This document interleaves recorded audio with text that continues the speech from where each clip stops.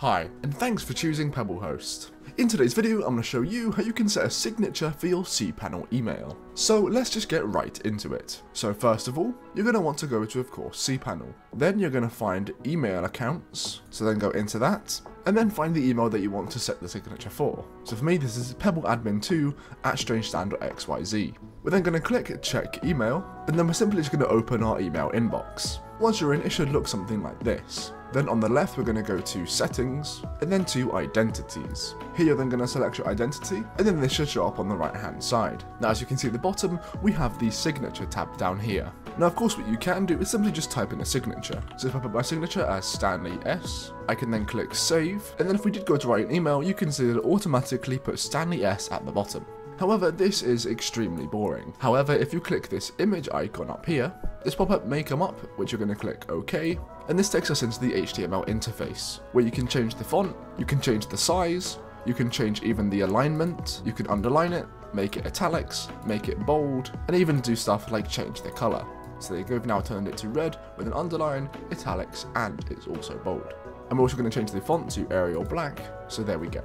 You can even do stuff like highlights as well, so if we picked a yellow, it means the background will be filled by a yellow font.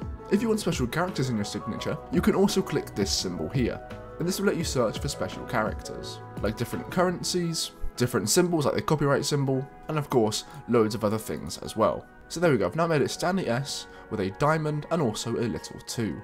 You can also just add lines and if you click horizontal line, as you see it will make a sort of break.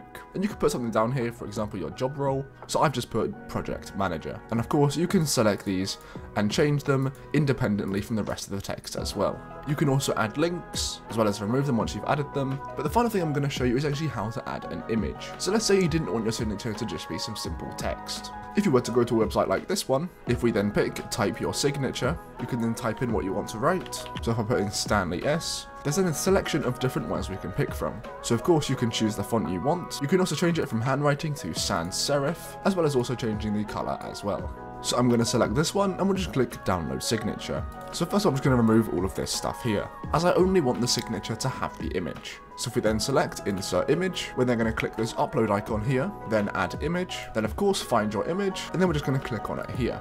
And then as you can see, it has selected it. You can then change the width and height if you want to as well. I'm just going to change it to these dimensions, and then we'll click save. So now as you can see, it has added our signature. However, if you want to, you can still add lines like this, and of course you can put a role or any extra information you want.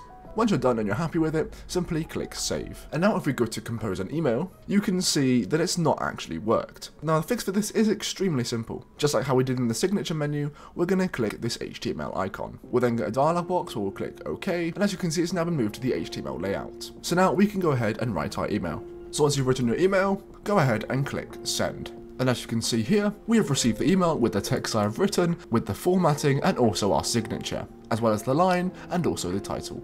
So that is how you can set a signature with cPanel. Hopefully this video was helpful. If it was, definitely leave a like and subscribe, and hopefully, I'll see you next time.